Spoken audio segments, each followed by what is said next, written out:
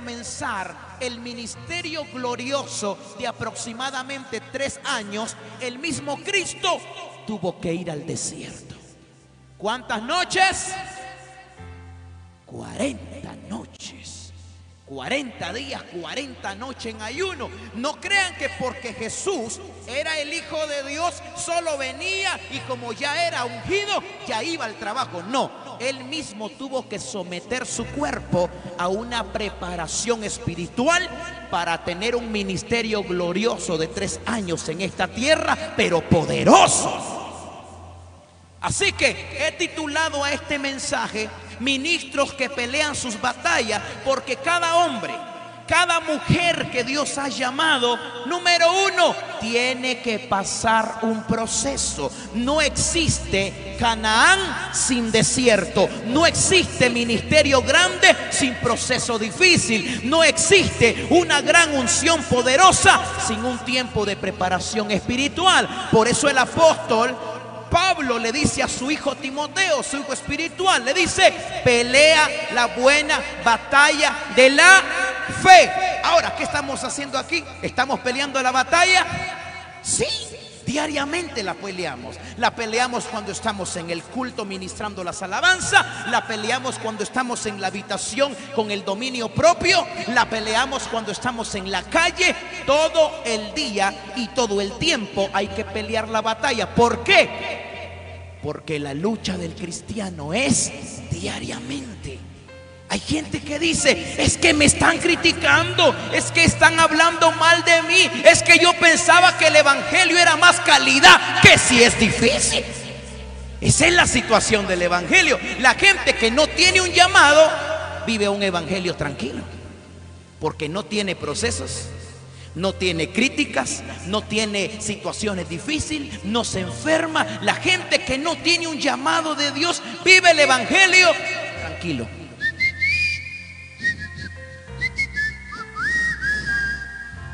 Se pasa chiflandito todo el Evangelio.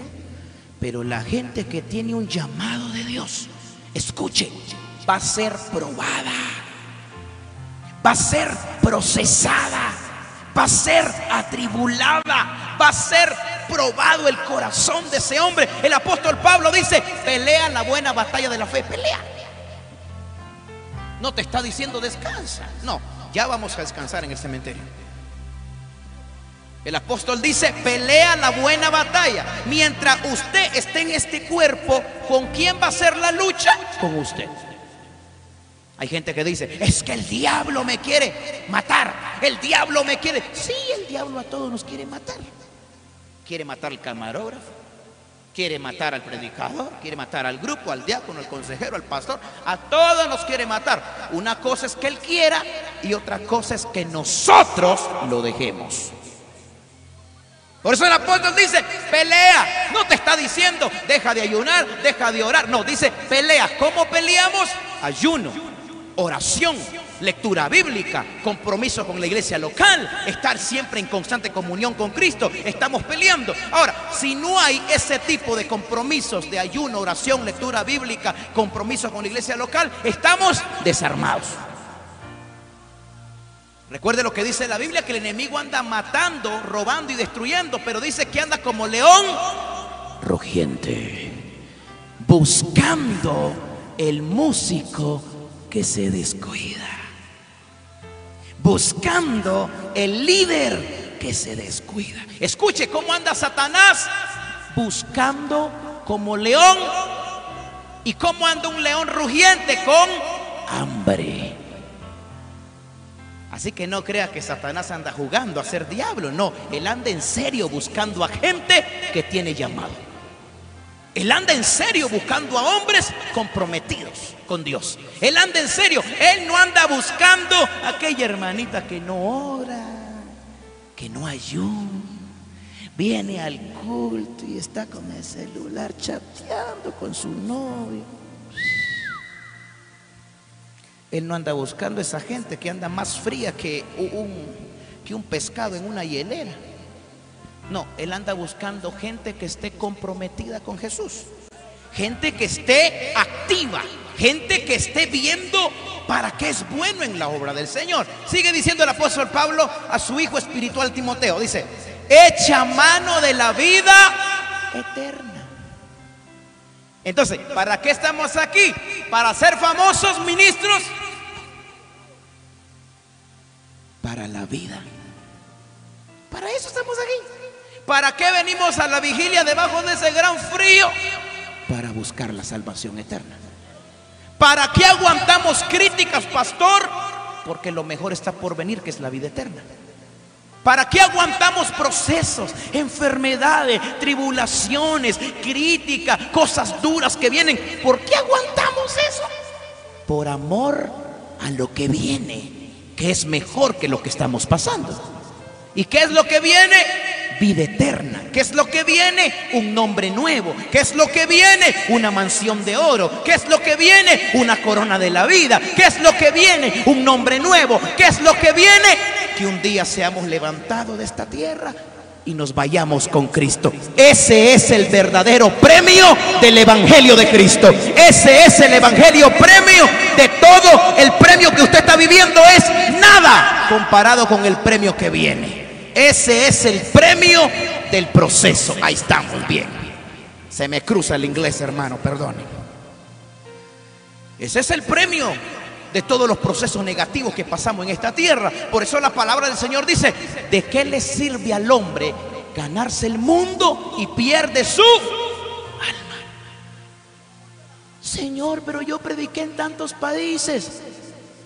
Pero te vas a ir al infierno porque nunca vivía lo que predicabas, cochino.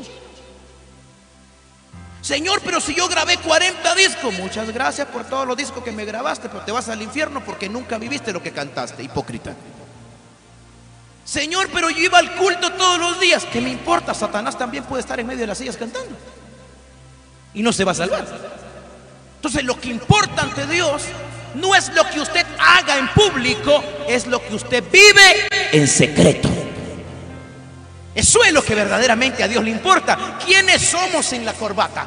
¿Quiénes somos, muchachos, sin el evento? ¿Quiénes somos en nuestra casa con la novia, la mujer, con su mamá? ¿Quiénes somos? Porque lo que vale aquí no es lo que aparentemos. Porque mire yo qué guapo me miro con tacucho. Y hasta parezco apóstol. Pero no es mi apariencia lo que me va a salvar, es mi vivencia. No es lo que yo aparento lo que vale ante Dios, es lo que yo vivo. ¿Dónde? En mi casa. ¿Cómo soy con mi mujer? ¿Cómo soy con mis papás? ¿Cómo soy en mi congregación? ¿Me conocen mi testimonio? Entonces, de eso trata la Biblia. ¿De qué le sirve al hombre ganarse el mundo y pierde su alma? Lo que yo le estoy diciendo a usted, ministro, hermano y hermana, es no viva de apariencia. No quede bien con su pastor. No quede bien con la iglesia. Habla como canta el hermanito. Ah, qué barro y siente la unción y habla. No quede bien con la gente. Quede bien con Jesús. Él es quien te salva y Él es quien te puede condenar.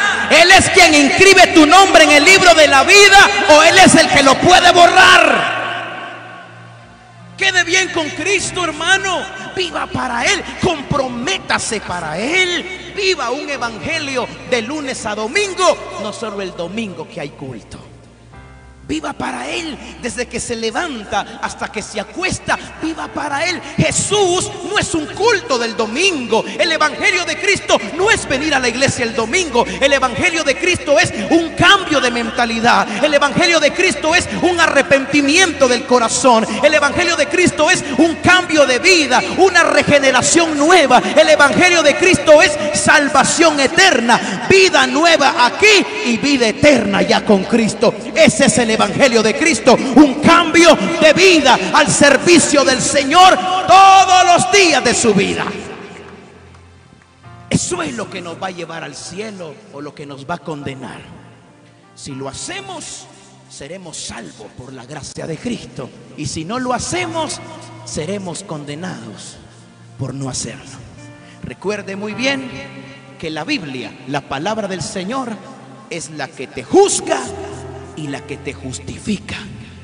Es la que te justifica y es la que te condena. Dios no condena a nadie. ¿Quién lo condena? Las leyes que ya Él dejó. Dice la palabra del Señor. El que guarda mis mandamientos, dijo Cristo, ese es el que me ama.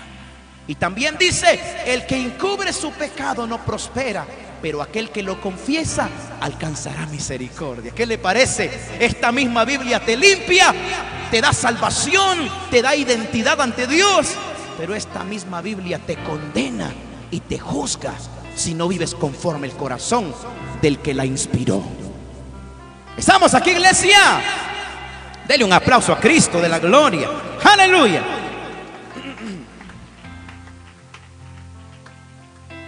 Hermano Byron, entonces significa que todos los días voy a pelear conmigo. Sí, sí. Todos los días va a pelear con su manera de ser. Aquellos que eran alcohólicos, hoy en día, algunos me han dicho, hermano Byron, yo cuando huelo el, alcohol, mire, yo lo odio. Otros me han dicho, hermano Byron, yo cuando siento el alcohol, yo siento rico, hermano Byron. A mí me da ganas de caer otra vez. Unos me han dicho, hermano Byron, yo era fumador y ahora que siento dolor a cigarro, mire, hermano Byron, yo me bajo y quiero. Y otros me han dicho, hermano Byron, yo era fumador y ahora que siento que alguien pasa fumando un cigarro, yo le hago así, ve.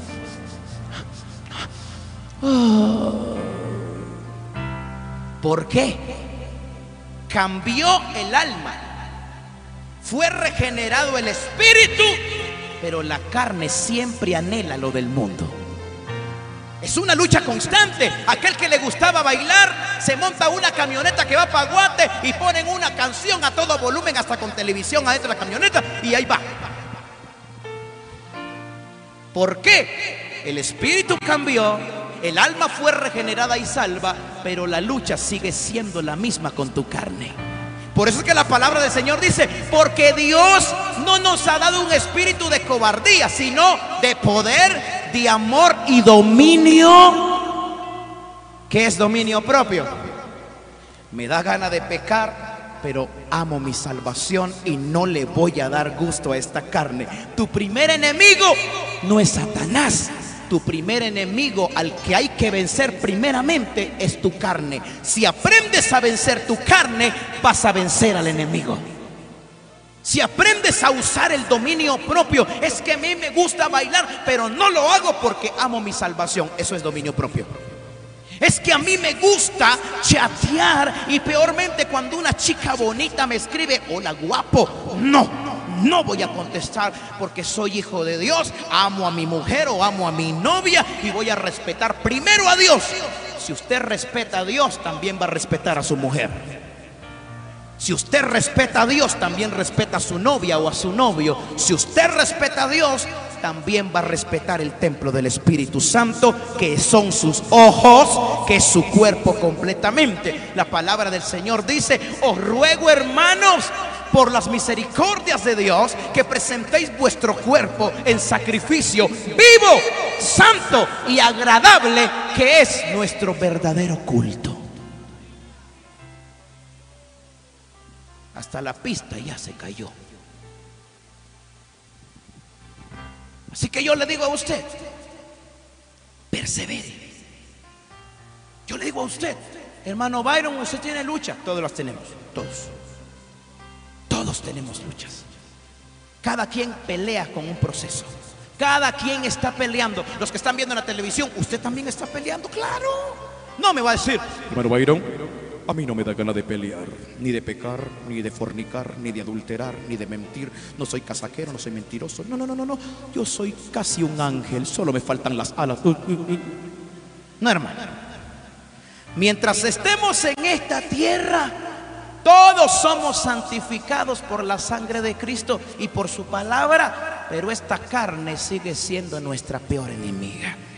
Ahora, dígame usted, cuando usted está en su casa y dicen, hay vigilia, su alma y su espíritu quieren estar aquí, pero su carne dice, es que hoy hay partido, mejor quédate en tu casa.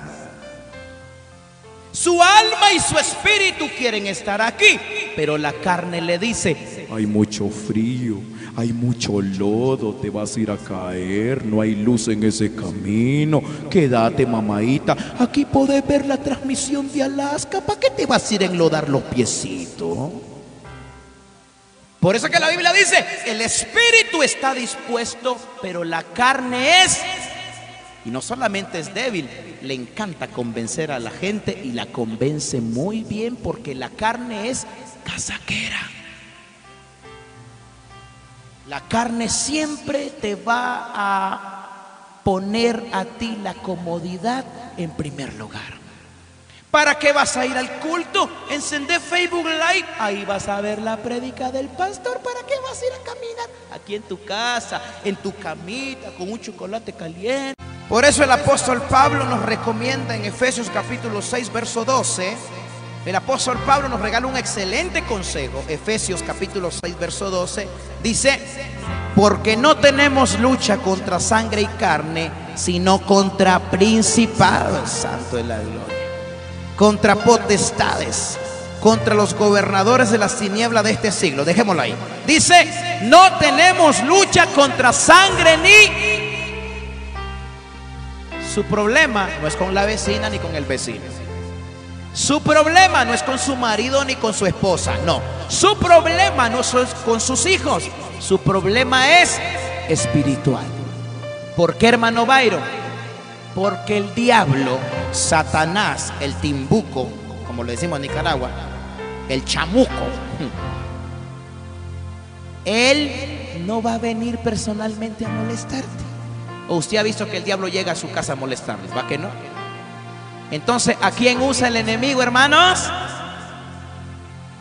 A mi mujer, dijo alguien ahí. Escuche lo que le voy a decir. A algunos no les gusta, pero se lo tengo que decir.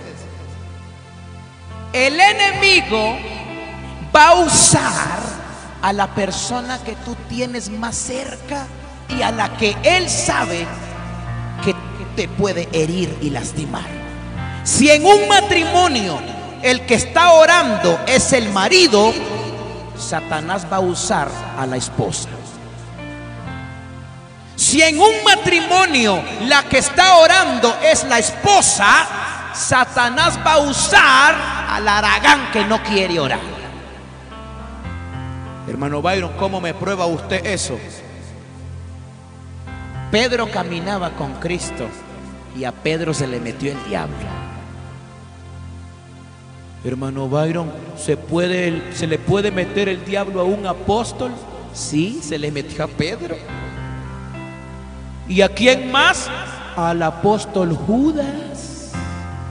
Porque Judas no era un evangelista, un predicador. No, Judas era un apóstol. Aleluya, hermano. Entonces, Satanás sabía que Pedro y Judas estaban cerca de Cristo. Satanás usó la codicia de Pedro, perdón, la codicia de Judas para vender a Cristo por 30 monedas de plata. Y Satanás usó la astucia para hablar de Pedro para convencer a Cristo. Entonces, Satanás va a usar a la persona que tenga menos comunión con Dios. Si a mí me dice un vecino de mi cuadra, vos Byron, vos tus prédicas no me gustan, me caes mal, trompudo, mira, a mí me caes mal y, y mira, ta, ta, ta, ta, ta, ta. Ah, ¿Sabe qué yo hago? Buena onda, Dios te bendiga, te quiero mucho, abrazos a la familia y me doy la vuelta. Pero si eso me lo dice mi mamá, hermano pastor, ¿duele o no duele? Sí. Me estoy refiriendo a eso. Que Satanás sabe a quién va a usar para bajarte las llantas. El, enemigo puede usar a tu vecina, pero sabe que no te puede hacer daño mucho porque no le pones caso a lo que diga ella. Pero si te lo dice tu mujer, mira que me caes mal, vos sos un evangélico fariseo, mira que yo no te creo que sea hijo de Dios, mira.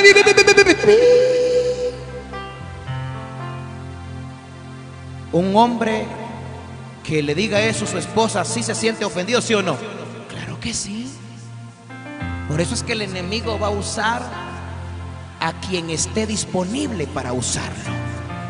Por eso la Biblia dice, tu lucha, mi lucha, no es contra sangre y carne. La lucha no es contra tu mujer, la lucha no es contra tu esposo, ni tu esposa, ni tu vecino, no. La lucha es contra los espíritus que manipulan a la gente que está disponible para ser un instrumento de Satanás. ¿Y sabe cuál es lo peligroso? Que la gente que es usada por el diablo ni se dan cuenta. Pedro no se daba cuenta que estaba siendo usado por Satanás. Pedro no se dio cuenta, pero Cristo le dijo, "Eh, eh, eh, eh, Satanás, ponte atrás de mí. Pedro estaba diciendo, Señor, podemos hacer esto y lo otro y lo otro. Pedro no estaba pensando cosas malas, pero Satanás lo estaba usando a él para hacer de tropiezo para el plan de Cristo. Así que la gente que está siendo usada por el enemigo muchas veces ni se da cuenta que está siendo un instrumento de Satanás. Por eso Dios dice, tu lucha no es contra ningún ser humano, tu lucha es contra los espíritus que manipulan los cuerpos de la gente. Usted, la gente va a hablar mal de usted, la gente se va a levantar contra usted, pero de usted depende. Si la gente lo hace sentir mal, es porque usted permite eso. Usted tiene autoridad de Dios para doblar rodillas y para saber que la lucha suya no es carnal, es espiritual y la tiene que ganar si está con Cristo Jesús. ¿Alguien está con Cristo aquí? Apláudale fuerte a Jesús.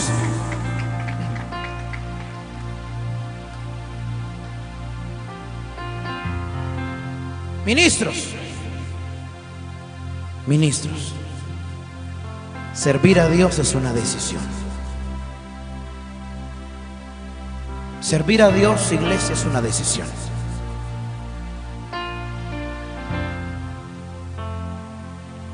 Muchos de los que están aquí han querido dejar el Evangelio y han dicho, pero yo no necesito estar en el Evangelio. Vienen enfermedades, la gente me critica. Cuando estaba en el mundo, nadie me hacía nada porque sacaba el machete y me tenían miedo. Ahora que soy cristiano, todo el mundo se me monta encima. Y hay gente que ha dicho, me quiero ir del Evangelio. La decisión de seguir aquí peleando la batalla es suya. Escuche lo que dice Mateo capítulo 7, verso 13. Esta palabra es para gente que verdaderamente se está esforzando por agradar a Cristo.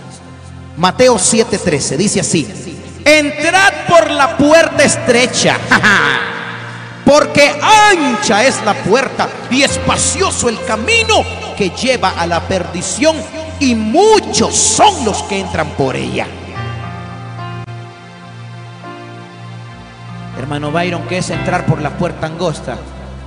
Por la puerta angosta es así, mire, de tantito así, ve. Ay, es que me resbalo y se cae. Pero uno va así, ve, la puerta angosta, la puerta angosta, la puerta angosta. Es difícil. Porque por la, la puerta angosta pasa la gente que ha sido criticada. Por la puerta angosta entra la gente que se ha enfermado y aún así siguen sirviendo a Dios en la enfermedad. Por la puerta angosta entra la gente que ha sido criticada, se ha enfermado, han pasado deuda, se han levantado cosas malas contra ella, pero siguen ahí. Los de la puerta angosta son la gente que no se pelea con Jesús. Señor, pues soy tu siervo, ¿por qué me enfermo? Señor, pero soy tu hija, ¿por qué hablan mal de mí? Señor, ¿por qué me hablan cosas feas de mí? Por la puerta angosta entra la gente que no le reclama a Dios. Gente que dice, he decidido servirte, Señor. Y si hablan mal de mí, lo hace el mundo. Tú siempre me has amado. Si me enfermo, es mi cuerpo que se enferma porque soy humano, pero tú eres mi sanador. Si quieres, lo puedes hacer. Y si no, diré lo que dijo Pablo. Para mí, el vivir en sanidad, en sanidad, en prosperidad, para mí el vivir es Cristo. Y si muero con enfermedad, es ganancia. Por eso, mi amado hermano, el Evangelio es una decisión. Y dice la palabra que todos los que van por el camino ancho, muchos son los que van por ese camino. ¿Es fácil bailar, hermanos? Sí. ¿Es fácil echarse un trago de cucha? Sí. ¿Es fácil un cigarrito ahí en el monte? Sí. Para los nervios, diría mi abuela. ¿Es fácil bailar? Sí. ¿Es fácil pecar? Sí. Por eso es que cuando al hombre se le parece fácil un camino, todos van por ese camino fácil. Es fácil ir a una fiesta, pero qué difícil es dejar la cama para venir al culto. Usted puede estar a medianoche en el pueblo viendo un convite hasta las 3 de la mañana debajo de la lluvia y usted está contento ahí. Ahí, están todos ahí grabando las viejas, enseñando todo. Mira, ahí está. 2 de la mañana debajo de la lluvia, en el frío. Y ahí está la gente, mire, no se va. Ahí está. Pero apenas se pasa un poquito el pastor, ahí está. Pastor, ya es hora, pastor. ¿A qué hora termina de platicar, pastor? Apúrese, que ya me quiero ir para mi casa. Por eso es que la Biblia dice, es fácil irse al infierno, pero qué difícil es irse al cielo. Es fácil amanecer bailando en una disco. Pero cuando venís al culto te dormís en la prédica, araganote. Por eso es que es difícil ser salvo. El infierno te lo puedes ganar bien facilito. Como hermano Byron, hace lo que se te da la gana. Pero el cielo es muy difícil porque ya no haces lo que se te da la gana. Haces lo que papá Dios quiere que hagas y que vivas para Jesús. Usted decide, camina por el camino ancho o camina por el camino angosto que te lleva a tu verdadero hogar con Cristo Jesús. ¿Se acuerdan aquel canto? Hogar, mi dulce hogar, no hay sitio bajo el cielo más dulce que el hogar. ¿Y dónde es el hogar de nuestra alma? Por eso la Biblia dice que es mejor estar un día en la casa de Dios que toda la semana fuera de la iglesia. ¿Cuánto anhela usted la presencia de Dios? Depende de cuánto ama usted a Dios.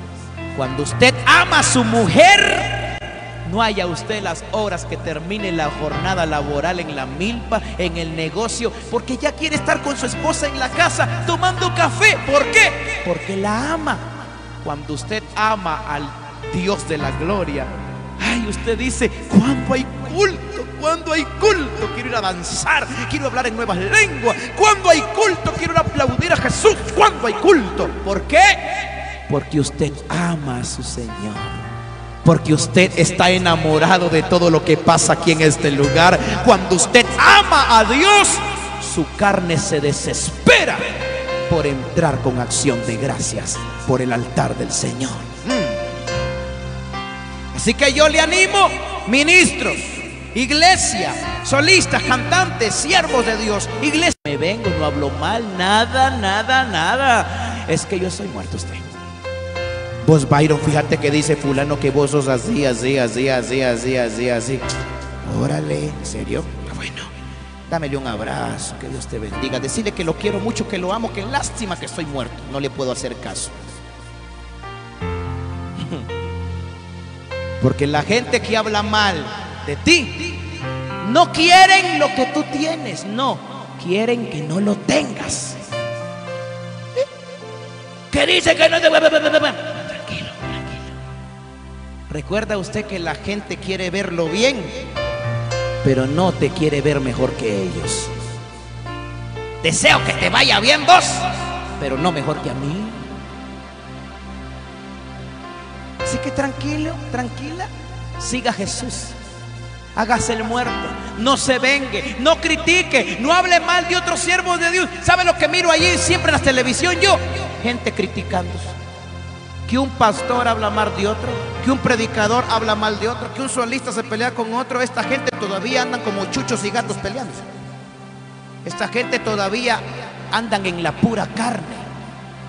Porque los pleitos, disensiones, envidias, celos y rivalidades, dice el apóstol Pablo, son gente que fluye bajo los deleites de la carne. Un hijo de Dios usa el micrófono y el altar para bendecir a la gente y para darle gloria a Cristo Jesús. Yo le digo a usted, camine con Cristo, muévase en el Espíritu y no en la carne. Dios viene a juzgar al que hizo bueno, lo va a juzgar bueno. Y al que hizo malo, pues malo. ¿Qué dice Apocalipsis? He aquí yo vengo pronto y mi galardón conmigo para recompensar a cada uno según sea su si usted sabe lo que está haciendo, deje de estar metiéndose con otra gente. Viva para Dios y espere que su corona de vida no se le va a dar el predicador, se la va a dar Cristo Jesús. Viva para Él, deleítate a sí mismo en Jehová y Él concederá los deseos, las peticiones de tu corazón. Camina con Cristo, deleítate en Él, pues de arriba viene tu recompensa. Que Dios bendiga su palabra y que bendiga a los que están en casita viendo en cualquier parte del mundo. Que Dios bendiga su palabra y vamos a orar en esta noche por su palabra, por el ministerio de alabanza que cumple 18 años y vamos a orar por mi hermano Wilmer también. Y vamos a pedir a Dios por la vida de ellos. No sé si vamos a orar ahí donde están ustedes, chicos, o vamos a pasar acá. No sé cómo está el programa, pero ustedes, ustedes quieren ahí o o pasamos aquí al frente como ustedes lo consideren. Pero para mejor y más formal, aquí adelante, por favor, mis amigos. Aleluya. Vamos a pedir a Dios que les bendiga. Saben que Dios me sacó a mí de un ministerio de alabanza para predicar. Comencé cantando con un grupo y pues ahora estamos predicando. Así que a mí no me extraña que yo le esté predicando a un profeta, a un evangelista, no lo sé. No lo sé. Pero Dios puede sacar evangelistas, pastores, siervos de Dios, ministerios. Así que yo nunca sé si le estoy predicando a alguien mayor que yo. A mí hubo gente que me predicó cabal como ustedes ahí. Yo andaba con el grupo donde yo estaba. Allá se ponía el Byron sentadito a escuchar palabras. Siempre atento a lo que Dios hablaba. Y Dios me sacó de un grupo de alabanza también a mí. Y hoy soy predicador, ya no canto mucho, pero estamos ahí. Así que yo les animo ¿Quién es el hermano Wilmer? No está aquí, hermano Wilmer, ¿verdad? Hermano Wilmer. Sí, me dijo que, que había tenido un contratiempo. Así que donde quiera que esté el hermano. ¿Dónde está el hermano Wilmer? Tiquizate. Hay mucho calor en Tiquizate, no creo. ¿Verdad que está? Ok. Está. Vamos a orar por mi hermano Wilmer. Por ustedes también, que son un apoyo para el ministerio. Sin integrantes no hay grupo. Así que vamos a pedir a Dios que los bendiga. Que sabemos que ustedes tienen sus luchas. Todos, todos tenemos luchas. Así que vamos a pedir a Dios. Si estuviera algún consejero que nos apoye en oración, si estuviera nuestro hermano pastor por ahí. Si no, pues vamos a declarar la palabra aquí. Usted que está en la silla, ayúdeme a orar, iglesia. Yo no sé cómo oran aquí. Yo soy iglesia de Dios también. Allá en la iglesia nosotros oramos de pie. No sé aquí si oran sentados o acostados. Pero en mi congregación oramos de pie. Yo no sé cómo oran ustedes aquí, mis amados, pero como sea que usted ore, bendigamos a estos muchachos, a esta generación de hombres de Dios que Dios está levantando. Oramos. Padre, te damos gracias esta noche.